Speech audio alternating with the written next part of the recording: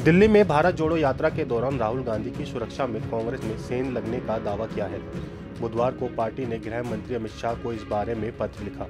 कांग्रेस ने कहा कि दिल्ली में 24 दिसंबर को भारत जोड़ो यात्रा की पुलिस राहुल गांधी के इर्द गिर्द भीड़ को नियंत्रित कर घेरा बनाने में नाकाम रही, जबकि उन्हें जेड प्लस श्रेणी की सुरक्षा प्राप्त है। पार्टी के संगठन महासचिव के सी वेणुगोपाल ने पत्र में यह आग्रह भी किया कि अब आगे पंजाब और जम्मू कश्मीर जैसे संवेदनशील राज्यों में राहुल गांधी और यात्रा की सुरक्षा के पुख्ता इंजाम किए जाएँ।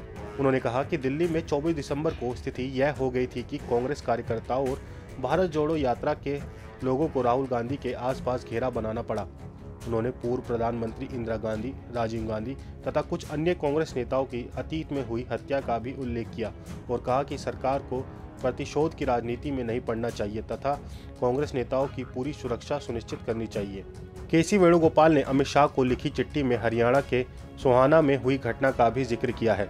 आरोप है कि कुछ अनजान लोग यात्रा के साथ चल रहे कंटेनर्स में अवैध रूप से घुसे थे। पार्टी ने 23 दिसंबर को इस बारे में एफआईआर भी दर्ज कराई। कांग्रेस नेता ने लिखा है कि 3 जनवरी से राहुल गांधी की यात्रा पंजाब और जम्मू कश्मीर जैसे संवेदनशील राज्यों में प्रवेश कर रही है। ऐसे में उन्हें और साथ चल रहे भारत यात्रियों की सुरक्षा सुनिश्चित की जाए। वहीं मीडिया को संबोधित करते हुए कांग्रेस प्रवक्ता पवन खेड़ा ने यात्रा को रोकने के लिए एक साजिश का आरोप लगाया। उन्होंने कहा, यात्रा को बदनाम करने का प्रयास किया जा रहा है। जो लोग इसे बाधित करना चाहते हैं, वह अपनी पुलिस, अपने मीडिया के माध्यम से प्रयास कर रहे हैं। वे सफल नहीं होंगे। आप इस खबर के बारे में क्या सोचते हैं? हमें कमेंट सेक्शन में बताएँ। साथ ही ब्रह्मास्त्र न्यूज़ को सब्सक्राइब और शेयर भी ज़रूर करें।